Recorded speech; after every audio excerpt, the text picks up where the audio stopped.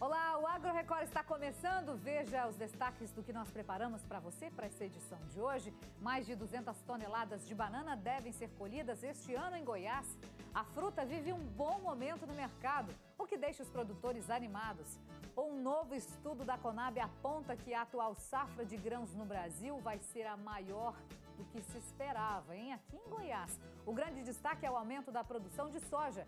E ainda nós vamos falar sobre o nascimento de bezerros gêmeos. Quais os cuidados que se deve ter com a vaca e os bezerros? E mais, o resultado de um estudo sobre o consumo de arroz durante a pandemia do coronavírus. E por que será que, mesmo possuindo condições favoráveis a essa cultura, Goiás não produz mais arroz como antes, hein? Fica com a gente. A gente traz tudo isso e muito mais agora no Agro Record.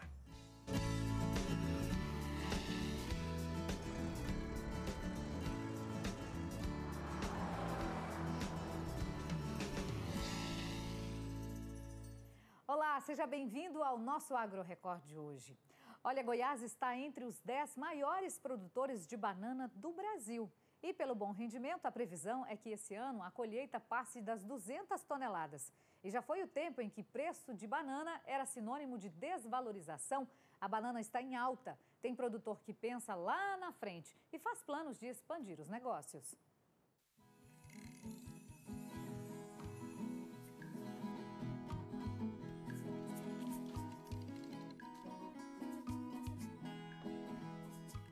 Versátil demais, deliciosa e saudável.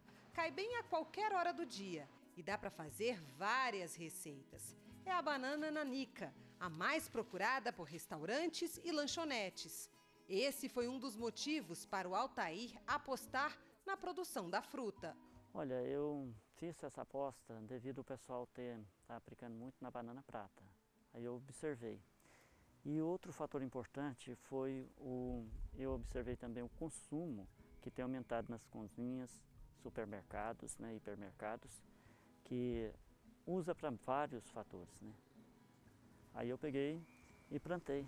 E graças a Deus o, é, parece que o útil ao agradável, né? O preço tem estado bom e também a produção deu muito certo aqui na região. Há quatro anos ele produz esse tipo de banana em uma área de 10 hectares em Ouro Verde de Goiás, a cerca de 60 quilômetros de Goiânia. O negócio deu certo. Nos últimos meses, a plantação surpreendeu em preço e produtividade. 30 dias atrás, a caixa de 20 quilos foi comercializada aqui na chácara de 35 reais. E a caixa com 28 quilos foi comercializada a 45 reais. Hoje o preço está em torno de 20 reais a caixa com 20 quilos. Mas mesmo assim, estamos numa fase boa, né? porque a produção está muito boa. Olha, a expectativa esse ano, a banana, devido não ter chovido muito, né, e a nossa irrigada, acredito que não vai baixar menos de 15 reais a caixa com 20 quilos. A safra começa em julho, mas aqui nessa área onde a gente está já tem cacho que dá para ser colhido nesses próximos dias, né? Inclusive o Altair falou que essa área aqui é o bananal melhor que ele já teve, né? Em termos de produção, Altair? Sim, produção e qualidade, né? Então o rendimento da produção vai ser muito, como vocês estão vendo, né? Tem muita banana e a qualidade do produto também está superior. Então superou a nossa expectativa nesse bananal aqui. Agora, esse cacho aí do seu lado, por exemplo, esse aí já está perto de colher, né? Sim, esse cacho aqui leva uma semana para ser colhido, né? Ele pode ver que já está bem grossinho as bananas, né? Uma semana ele vai estar na hora da colheita, né? E ele tem em torno aqui, ele vai dar em torno de duas caixas de 20 quilos de bananas. Desse jeito aqui ele vai estar com 50 quilos, mas tirando o talo, só banana vai ficar em torno de 40 quilos de banana, né? E aqui ao meu lado, a gente já vê um outro cacho que esse vai demorar um pouquinho mais, né? Este aqui, olha, vocês podem ver a banana está um pouco mais fina, é de 30 a 35 dias para chegar à colheita. Isso tudo ainda, né? Vai, ainda vai esse tudo. Agora já esse aqui já vai sair já na safra, né?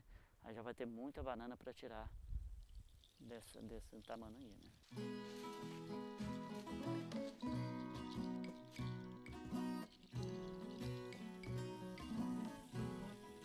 Um trabalho enorme que vocês têm até chegar à safra também, porque vocês estão vindo aqui sempre para limpar a área. É, é, todo um processo aqui nesse bananal, né? Sim, esse aqui é um bananal dos mais cuidados que tem na região. Porque nós temos que tirar a folha seca que fica, porque ela estraga também a banana. Quando ela desce na banana, ela estraga. E ela também dá uma melhor ventilação quando você tira ela. E aí o que, que nós temos que fazer? Tem quatro adubações no ano, duas orgânicas e duas químicas, né? Que tem, tem que ser feita. E a partir de agora, sendo que é um bananal irrigado, nós estaremos irrigando né, quase todos os dias. E você tem um, algo que você acha que foi o diferencial aqui, foi a questão do solo também, né? O que, é que foi feito aqui? Olha aqui, essa área de banana aqui, ela está produzindo bem mais do que as outras áreas. Mas eu observei que foi um fator muito importante a subsolação do solo. A subsolação, ela, nós temos uma máquina que coloca no trator e ela pega e rasga a terra todinha. Ela fofa a terra. Aí o que, que acontece nesse processo? Nesse processo a terra fica mais macia, onde as raízes buscam mais a nutrição. Aí a qualidade melhorou muito e também a produção. Então é algo que vocês devem fazer nas próximas produções também? Com certeza, eu não planto mais sem fazer esse processo. É algo que vai aprendendo com o tempo, né, Altair? Por mais que você vá ali produzindo há alguns anos, sempre tem algo a aprender a cada safra? Sim, é, nós estamos produzindo a banana nanica há quatro anos né, e a gente vai aprendendo. Aqui eles prezam pela qualidade da plantação e das bananas. Tem sempre alguém por aqui cuidando, retirando um cacho. Olha para você ver, essa aqui não está bem na hora ainda, porque ela fica na hora de tirar a florzinha com duas semanas depois que ela sai, sai o cacho. Aí você tem que vir fazer todo esse serviço aqui, contando que são 10 hectares, não é fácil. Aí uma vez por semana tem que ser feito esse serviço em toda a propriedade. Porque o que, que pode acontecer, Altair, a, se deixar? Olha, se nós deixarmos ela passar um pouco mais de tempo, aí vai sair aqui a, a nódia da banana e pega na banana. E o tempo sendo curto até ela chegar à produção, ela fica manchada. Então por isso tem a época certa. Após duas semanas que ela sai, tem que ser tirada, para que não comprometa a qualidade do produto. Ou seja, quando a gente está no supermercado, na feira e compra aquela banana que já está um pouco mais manchada, é isso então que pode ter acontecido? Ela pode ter acontecido e você pegar ela com a florzinha, colocar um cacho em cima do outro e ela vai, na viagem, ela vai estragando. Aí ela fica amassada. Então por isso que é muito importante tirar as florzinhas para a qualidade do produto. Porque quando a pessoa for consumir, a banana amassada, ela é descartada. Em três meses, o Altair colheu 2.400 caixas de banana, cada uma com 20 quilos. Vende para Anápolis e Goiânia. Nos próximos meses, durante a safra, a produção mais do que dobra. Em três meses serão colhidas 6 mil caixas da banana nanica, que além das cidades goianas, vão para Brasília e para o estado do Mato Grosso. Goiás é o décimo maior produtor de banana do país. Segundo a CEAPA, a produção deve alcançar 202,9 toneladas na safra 2021. A área plantada é de 13 mil hectares, com uma produtividade média de 15,6 toneladas por hectare. São 109 municípios produzindo a banana. Alguns fatores são determinantes. A valorização do produto no mercado no último ano tem incentivado os produtores a aumentar a produção as características da produção que é desenvolvida basicamente pela agricultura familiar e a pequena agricultura é, é uma atividade, uma cultura de baixo custo de implantação. Isso tem é, trazido como uma boa oportunidade de diversificação para essa agricultura familiar. É, Goiás também nós temos uma, uma logística bastante favorável para a distribuição. Nós atendemos o nosso mercado interno, mas também exportamos para alguns, alguns estados vizinhos. Para o Altair, a expectativa este ano é boa. Se ela permanecer esse preço, então dá uma margem de lucro muito boa nesse preço aí. Porque aqui a produção vai aumentar em torno de 70% a 80% do que é hoje. É, aí por isso que o lucro é maior, devido à produção. Então aqui com certeza nós estaremos colhendo aqui em 10 hectares, em torno de 2 mil caixas por mês. Então vai ser bom. Você que só assiste a gente aí, nunca foi numa lavoura dessas aqui em Goiás, quando a gente sai para fazer reportagem assim como eu já fui, gente, é uma riqueza, é uma beleza, é um trabalho que a gente vê que é feito com muito cuidado, com muito carinho. E é trabalhoso, viu? Mas olha como está a produção aí dessa lavoura. Olha esse cacho de banana, completinho, que perfeição, né? Toda sorte do mundo. Deus abençoe os nossos produtores aí no campo, né?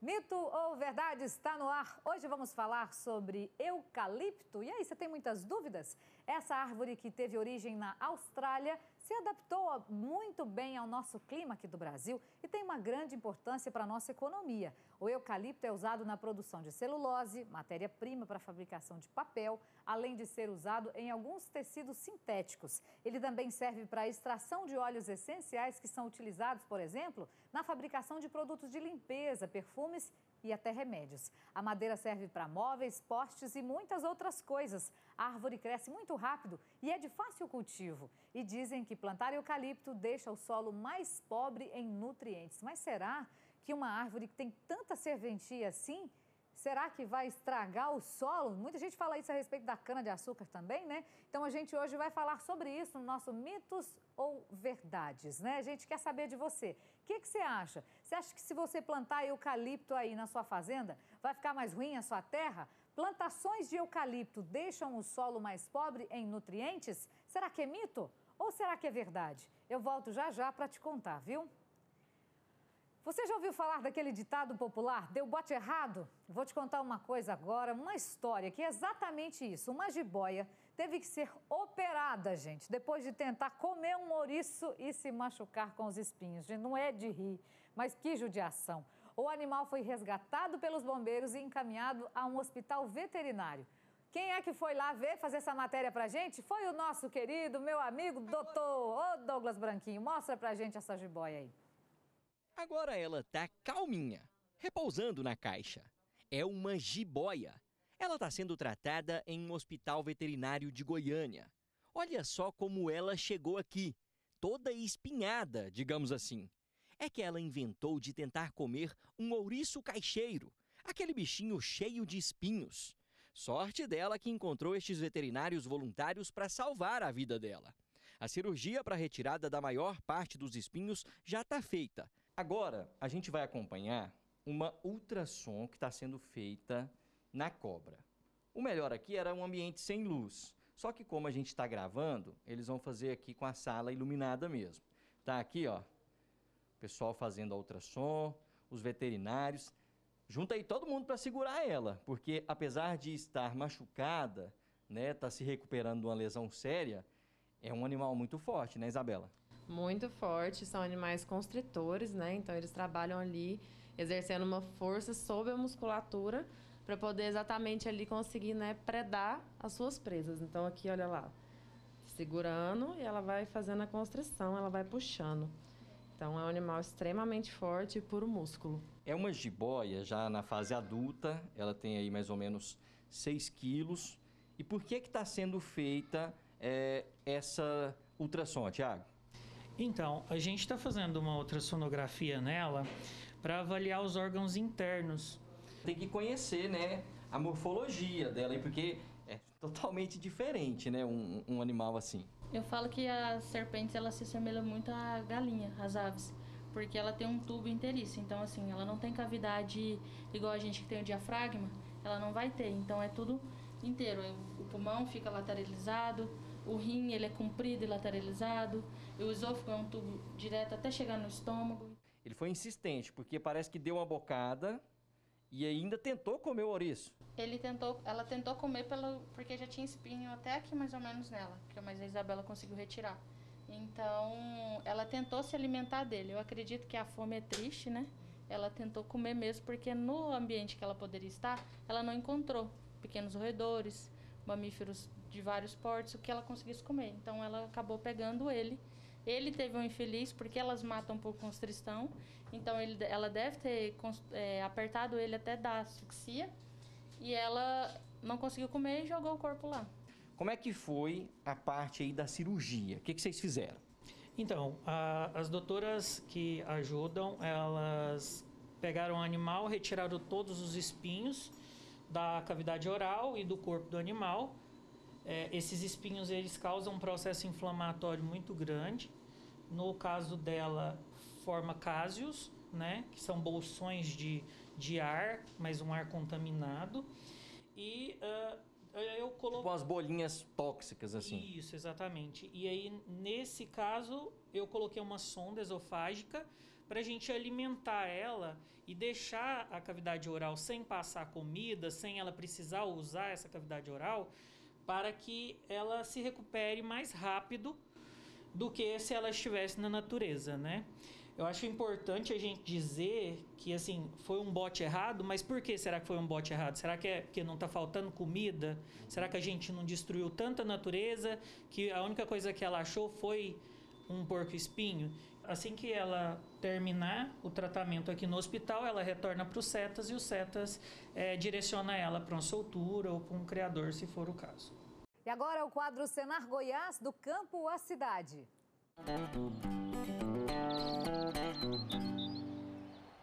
A gente sempre ouve que é fundamental falar uma segunda língua. No campo, isso é cada dia mais exigido.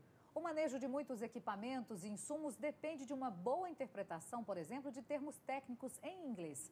Não é fácil encontrar um curso específico para essa área. Mas o Senar Goiás, que sempre sai na frente, providenciou. Por isso a gente recebe agora aqui o Dirceu Borges, ele é superintendente do Senar Goiás, está aqui para contar para a gente, né, como é que funciona o Senar English Farm. Seja muito bem-vindo e com certeza muita gente que está assistindo a gente gostaria muito de fazer esse curso, já que é específico, não perde tempo, né? Conta dessa novidade. É isso aí, Juliana. O curso Senar English Farm, um curso voltado para o agronegócio. A gente sabe que o inglês hoje é uma língua falada mundialmente, então faz necessário a gente, é, o produtor rural, o técnico, o profissional das ciências agrárias, saber falar o inglês e principalmente as termologias utilizadas no agronegócio. E o Senar inovando criou o Senai English Farm, um curso que será totalmente à distância, EAD, né, 160 horas, com certificados, com conversação. É uma inovação que o Senar está trazendo para os nossos técnicos, produtores rurais e trabalhadores rurais aqui do estado de Goiás. E como é que faz para participar desse curso? É, onde é que se inscreve? Até quando a pessoa pode se inscrever? As vagas são limitadas, nós vamos estar tá deixando o site do sistema FAEG, Senar, para a pessoa se cadastrar, onde será feito um sorteio né, dessas vagas devido à grande demanda que nós já estamos tendo aí dessa, desse curso. Então acesse o site do Sistema FAEG, onde você vai preencher e participar desse sorteio que será realizado no dia 26. O início do curso é dia 28 de abril, onde acontecerá a primeira aula. E para que você tenha é, conheça um pouquinho mais, nós vamos passar um vídeo aqui do Senai English Farm, onde explica melhor esse curso do inglês do agronegócio.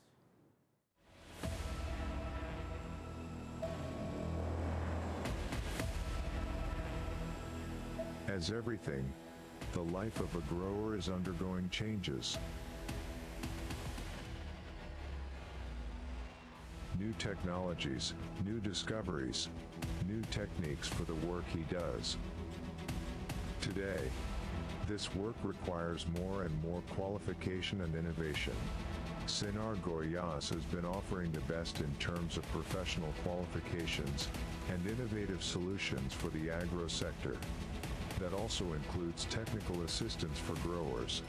This results in more jobs being generated, increased productivity and income.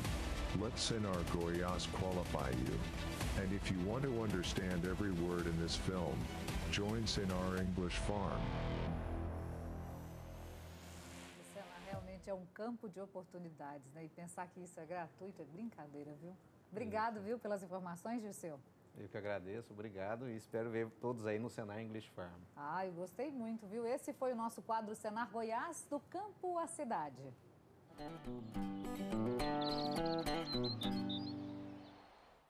E depois do intervalo, nós vamos falar sobre prenhez e nascimento de bezerros gêmeos. Qual a probabilidade disso acontecer, hein? E a atenção que se deve ter com a vaca e os filhotes também. E ainda hoje, os resultados de uma pesquisa sobre o consumo e produção de arroz aqui em Goiás. Eu volto já.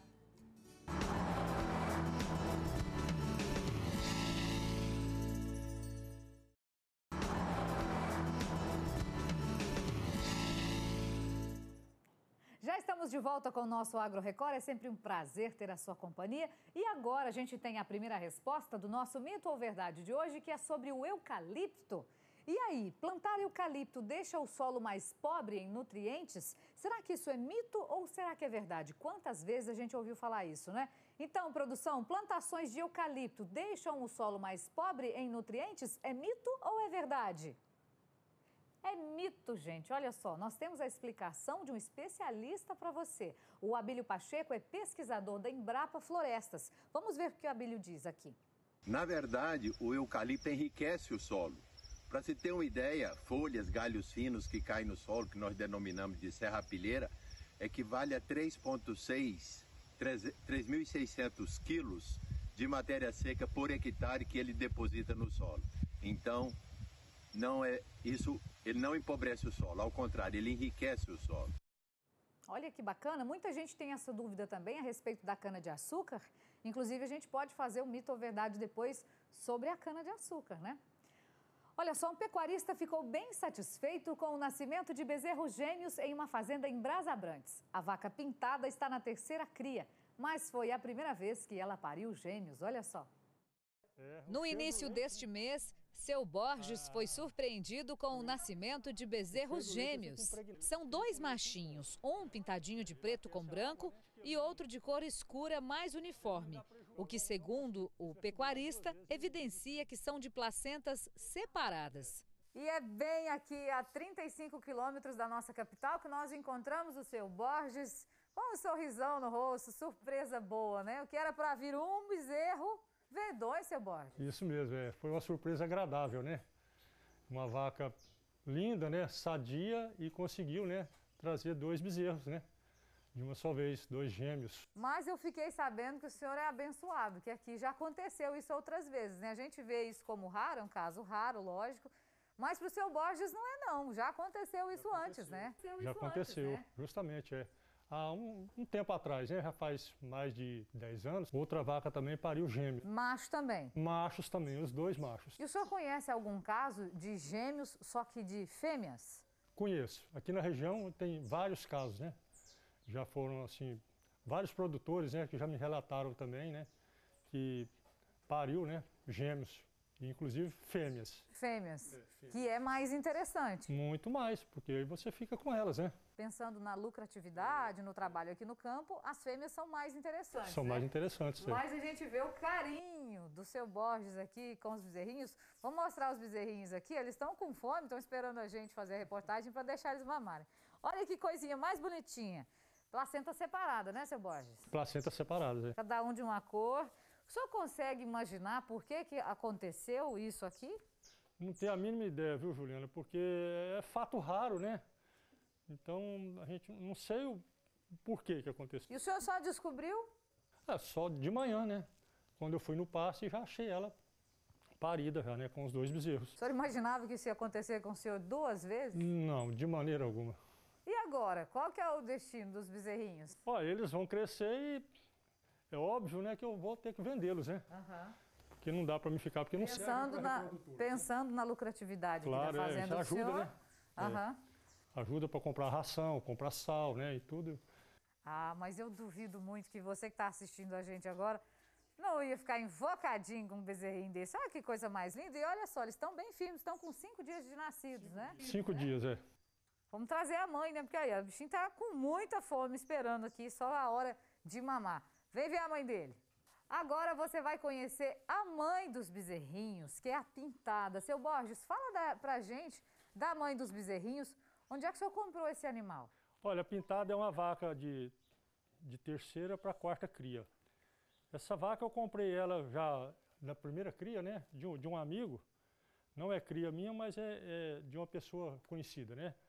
Então foi aqui da região mesmo. É uma vaca 3 quartos, né? E muito boa de leite, sadia. É uma vaca promissora que ela pode ter até seis crias, se tiver com os quatro peitos sadios, né? Aí compensa para a gente tê-la né, na, na, propriedade. Como é que é a alimentação aqui do, do, gado do senhor? O senhor acha que pode ter influenciado alguma coisa ou não? Como é que o senhor trata aqui desses animais? Sim, eu creio que não, porque a, o concentrado que eu dou é um concentrado que eu compro há muitos anos, né? Então, não, não foi a questão da, da, alimentação. E a silagem, ela, a silagem também é uma silagem normal, né? Que eu acho que não, não foi por isso, né? Não foi, não foi consequência de, de alimentação que, que ela pariu gêmeos. E isso aqui não é fruto de inseminação artificial não, também, não? Não, não, natural. É cobertura normal. Cobertura normal natural. do boi, é. Cobertura do boi. O senhor acha que o senhor ainda vai ver isso de novo aqui na propriedade?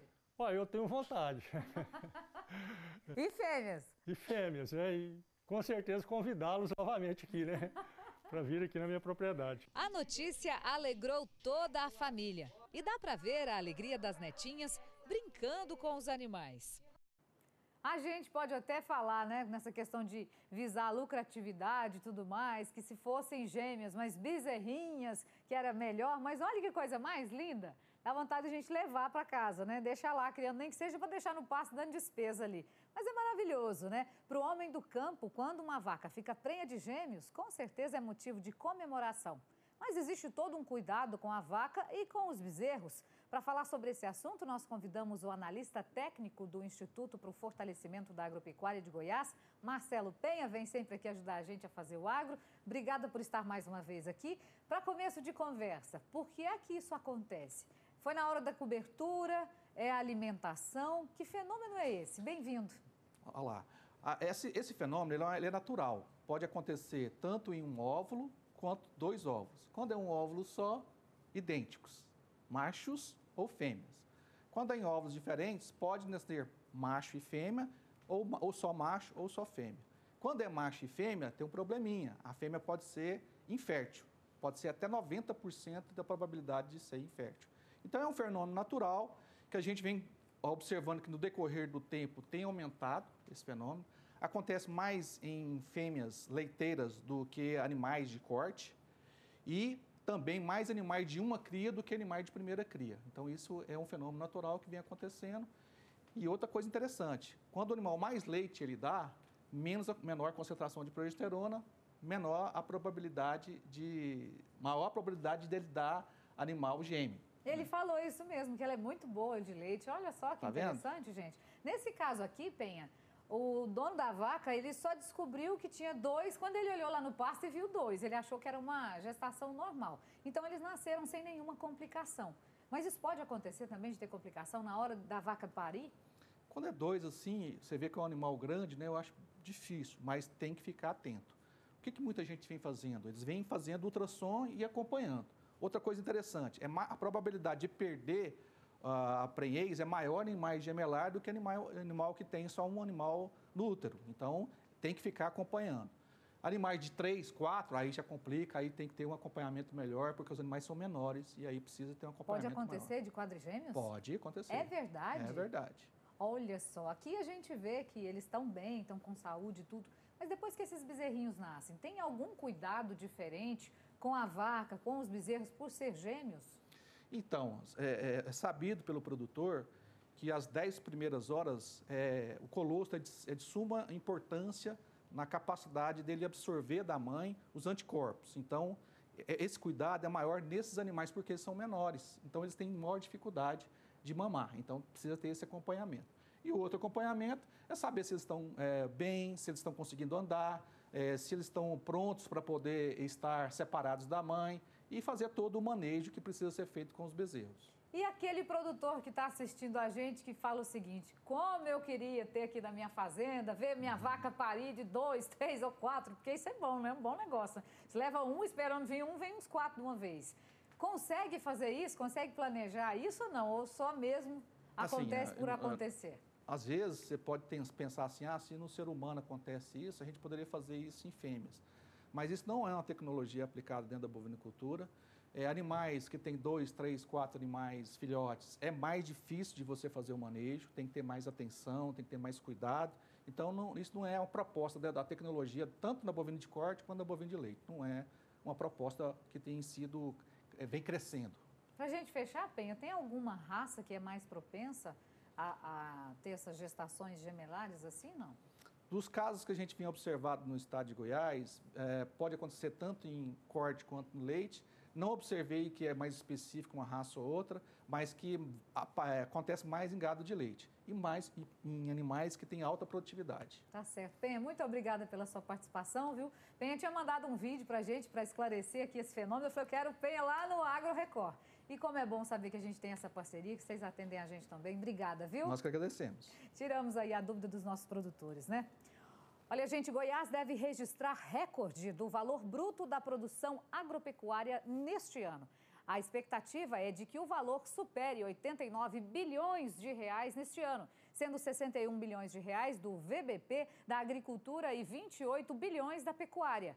Os destaques ficam por conta da soja, milho, pecuária de corte e leite. Apesar de apresentarem ligeira variação negativa, também devem contribuir de forma significativa para o VBP em Goiás os suínos, com 1 bilhão e 200 milhões de reais, tomate com 2 bilhões e 700 milhões de reais e feijão com 1 bilhão e 500 milhões de reais. Uma fazenda em plena cidade grande. Você já ouviu falar em fazendas verticais? Parece contraditório, né? Mas com a tecnologia, o campo ganhou o asfalto e as chamadas fazendas verticais já disputam espaços com os prédios.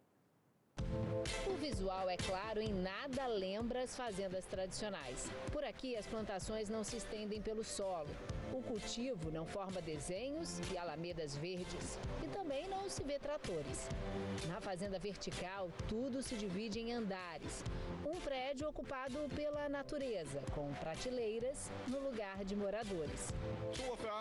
É uma forma mais sustentável de produzir alimentos durante todo o ano sem prejudicar a natureza diz o engenheiro.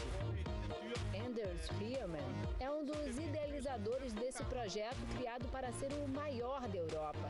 São 14 andares num galpão adaptado, nos arredores de Copenhague, na Dinamarca. O engenheiro conta que a luz de LED roxa reproduz a iluminação solar. Também não emitimos gás carbônico e nem usamos agrotóxicos, garante. A ideia é plantar mil toneladas por ano de alface, ervas, couve, frutas vermelhas e raízes. Além da economia do espaço, da água e do menor desgaste da terra, uma outra vantagem é a redução das distâncias. Com as fazendas dentro da cidade, o trajeto fica mais curto e aí o produto chega mais rápido e mais fresquinho até o consumidor. Agora, se tem algo que as fazendas verticais jamais vão conseguir produzir ou reproduzir, é a sensação exclusiva da fazenda tradicional. O cheirinho da terra, a paz do campo, o contato com a natureza ao ar livre. Aí não há mesmo tecnologia capaz de competir. Cada vez mais a gente vê que o campo se aproxima mais da gente, né? E você quer se aproximar do campo, trabalhar no campo, por exemplo, tem que ter conhecimento. Vamos ver o que a gente tem de curso oferecido pelo Senar Goiás? Lembrando que esses cursos do Senar são todos gratuitos, viu? Dessa vez tem cursos presenciais. Olha que coisa boa! Em Rio Verde vai ter curso de eletricidade industrial rural. São 12 vagas no período de 6 a 8 de maio. Tem informações para você no Sindicato Rural de Rio Verde. E tem curso de cultivo de mandioca em Jataí, mandioca que as cervejarias estão procurando para comprar matéria-prima. Então corre, faz o curso para você ter a sua plantação aí e ter sua lucratividade. São 16 vagas para esse curso, período de 3 a 5 de maio. E tem mais informações no Sindicato dos Trabalhadores Rurais lá de Jataí. Em Minasul, no norte do estado, o curso é de lida racional de bovinos de corte com equídeos. São 16 vagas, no período de 19 a 23 de abril. Mais informações no Sindicato Rural de Minasul. E se você quer saber mais sobre os cursos do Senar no seu município, é só procurar o Sindicato Rural da região ou então entrar no site sistemafaeg.com.br barra Senar. Olha, nós temos mais uma pergunta do nosso mito ou verdade de hoje sobre o eucalipto e a nossa pergunta é a seguinte: o eucalipto é a árvore mais plantada do Brasil? Será que isso é mito? Ou será que é verdade? Quantas viagens você já fez de carro e foi vendo as lavouras de eucalipto nas rodovias, no interior de São Paulo, região de Cristalina e até aqui mesmo em Goiás? O que, que você acha? Será que é mito ou será que é verdade? Eu te conto já já. A seguir, a estimativa da produção atual da safra de grãos no Brasil. E aí, hein? Não pode perder para você acompanhar. E ainda nós vamos falar sobre uma pesquisa da Embrapa sobre o consumo do arroz aqui no estado. E por que será que, mesmo com as condições favoráveis a essa cultura, Goiás não produz mais tanto arroz como antes? Já trago para você a explicação. Eu volto já.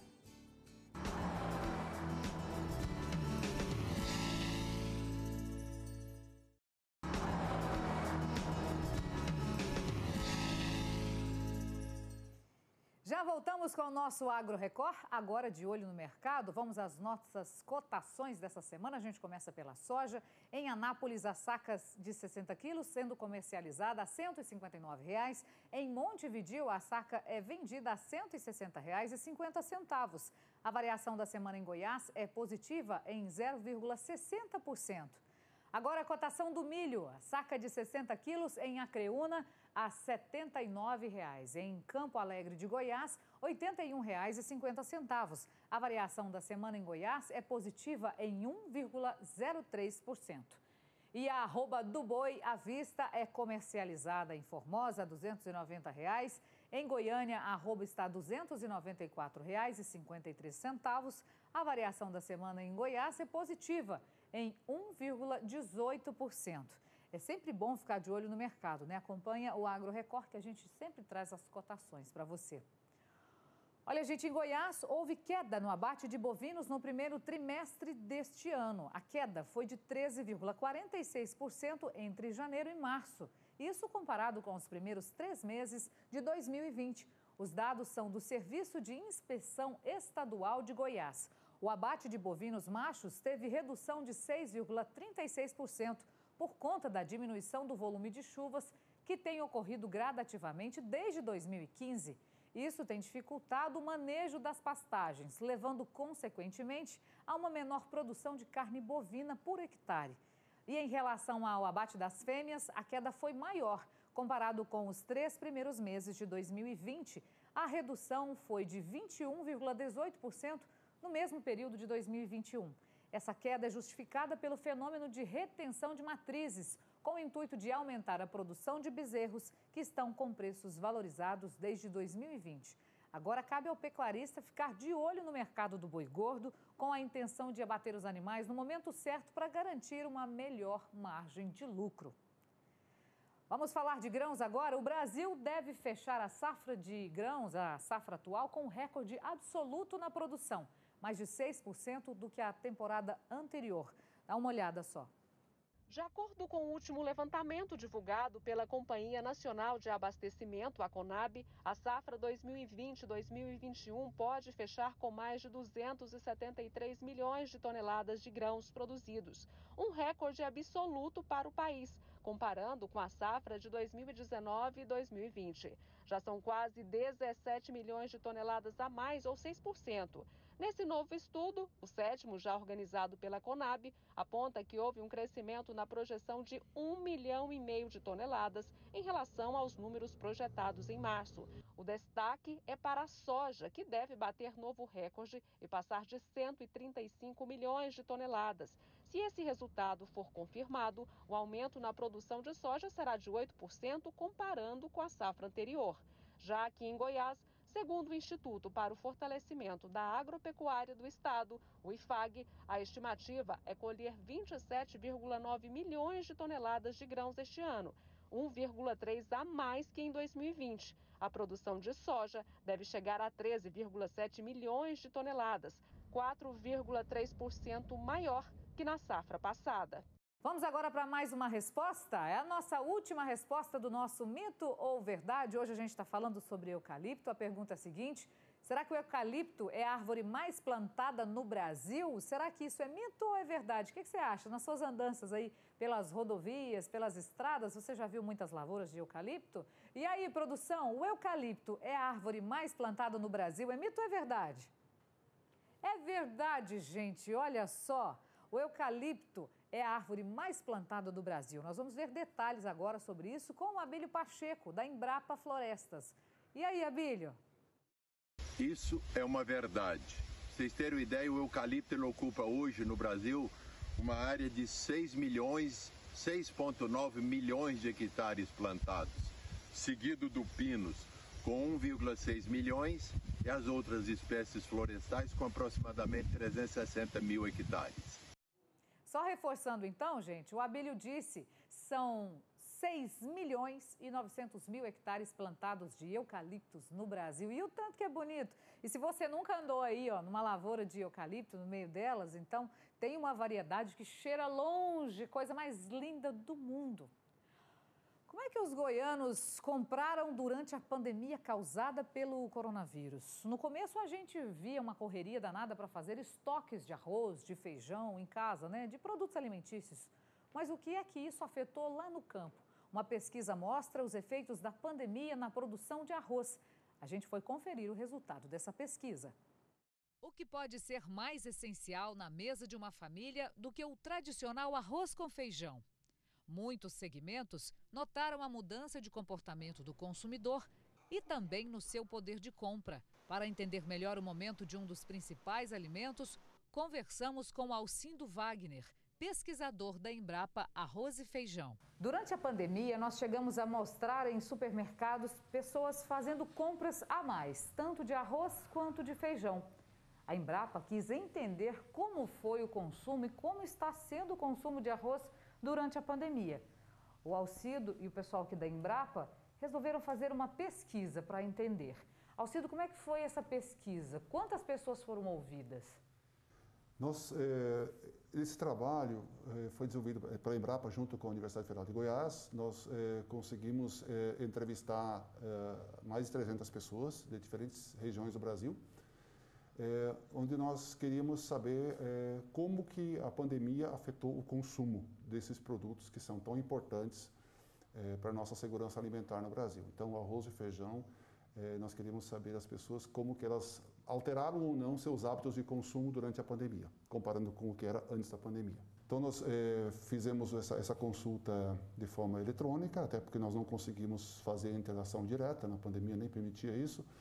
Fizemos um questionário online onde divulgamos esse questionário e pedimos para as pessoas então responderem eh, na, na, visão delas, da família delas, do, das pessoas do convívio delas, para elas responderem essas perguntas para a gente. E agora nós acabamos então de divulgar os resultados que nós obtivemos dessa, da, desse levantamento. E como foi? Houve alguma surpresa nas respostas das pessoas? As pessoas consumiram mais, menos ou não mudou nada no consumo de arroz? Nós eh, realizamos essa pesquisa no final de 2020, então nos surpreendeu um pouco os números, eh, porque, segundo que as pessoas responderam para a gente, o consumo delas durante a pandemia, pelo menos naquele período próximo de quando responderam, está similar ao que era antes. Então não teve esse aumento de consumo que a gente estava eh, até esperando que as pessoas relatassem, né? É, o que nós observamos, sim, foi no começo da pandemia que as pessoas andaram comprando para fazer estoque em casa, né? Isso é o medo porque do, da incerteza do que poderia vir com a pandemia. Depois que as pessoas entenderam que não haveria por que se preocupar nesse sentido, que não haveria desabastecimento, as pessoas ficaram mais tranquilas. Né? Então isso parou de ser parou de ser uma, uma, uma preocupação. E no final do ano passado, então, quando nós fizemos a consulta, eh, nós percebemos que eh, o que as pessoas reportaram é o mesmo consumo do que era antes. Elas estavam comprando para consumir em casa o mesmo tanto que elas compravam antes da pandemia.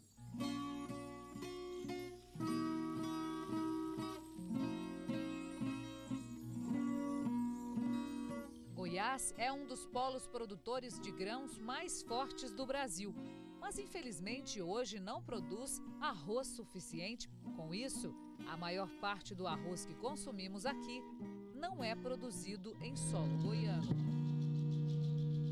É lógico que a gente também gostaria de entender um pouco mais sobre a produção de arroz aqui em Goiás.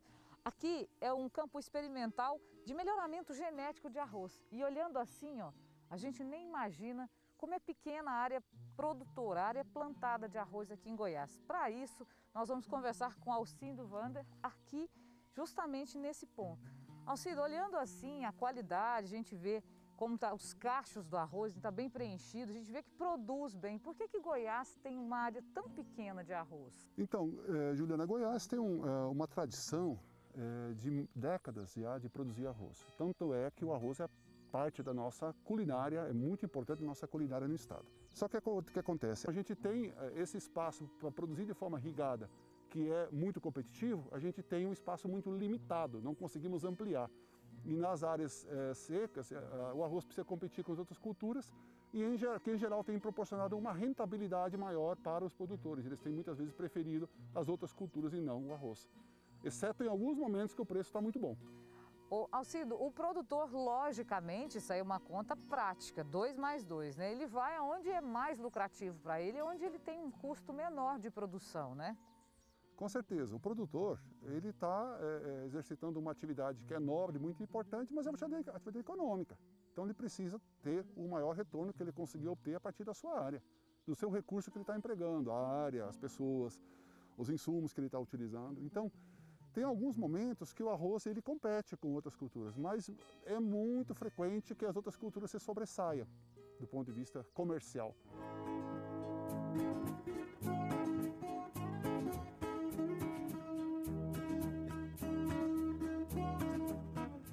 A gente fala em mercado exportador, a gente fala em produção aqui em Goiás, e fica se imaginando como seria interessante se a gente tivesse condições de produzir mais arroz. Olha só, aqui, lógico, é um campo de, de experimento, a gente sabe que o manejo aqui é diferente de um produtor que vai produzir em grande escala. Mas essa questão da exportação também fez com que subisse os nossos preços, né? com, que, o preço do arroz fosse parar lá em cima. E muita gente ficou se perguntando, mas por que está tão caro o arroz?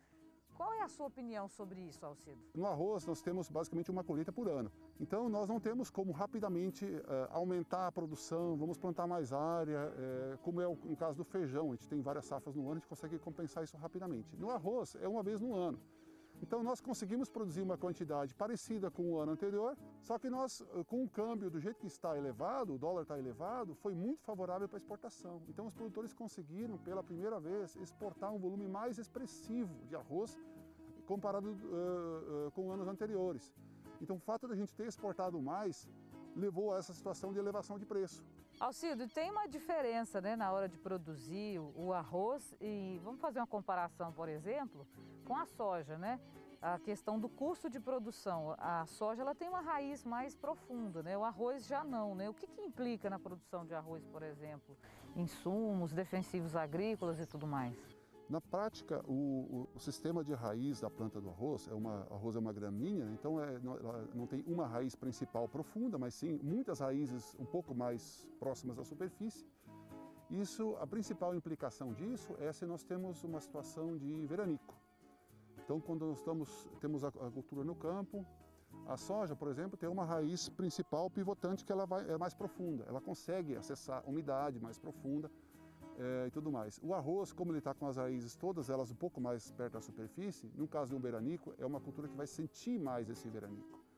Isso tem sido um dos fatores que tem, é, inclusive, feito com que é, o arroz em área de sequeiro ele tem diminuído a sua produção, principalmente naquelas regiões onde os veranicos são mais frequentes. É linda a produção de arroz. Né? Deixa eu te contar um fato que o Alcino me contou que nos anos 80, Goiás foi o segundo maior produtor de arroz do Brasil. Já imaginou? Com certeza, né? Se a gente ainda tivesse uma área plantada de arroz no estado maior do que gente, o que a gente tem hoje, com certeza para o consumidor final seria muito mais interessante em questão de preço lá no supermercado, né? É interessante saber esse comportamento do consumidor também durante a pandemia, né? E você, tem alguma sugestão de matéria para gente? Você pode sugerir, pode assistir às nossas reportagens lá no YouTube, pode mandar sua mensagem para gente. Corre no YouTube e vê o agro que você perdeu, por exemplo, youtube.com.br Record TV Goiás e nos acompanhar também pelo nosso Instagram, arroba TV Goiás. Siga aí nas redes sociais para você falar com a gente, dar as suas sugestões e, claro, acompanhar os materiais que você não viu. Já que a gente estava falando de arroz, né, vou me despedir, como muita gente às vezes vai na casa da gente e fala, ir embora fazer um arroz. O Agro Record de hoje fica por aqui, semana que vem tem mais. Tchau.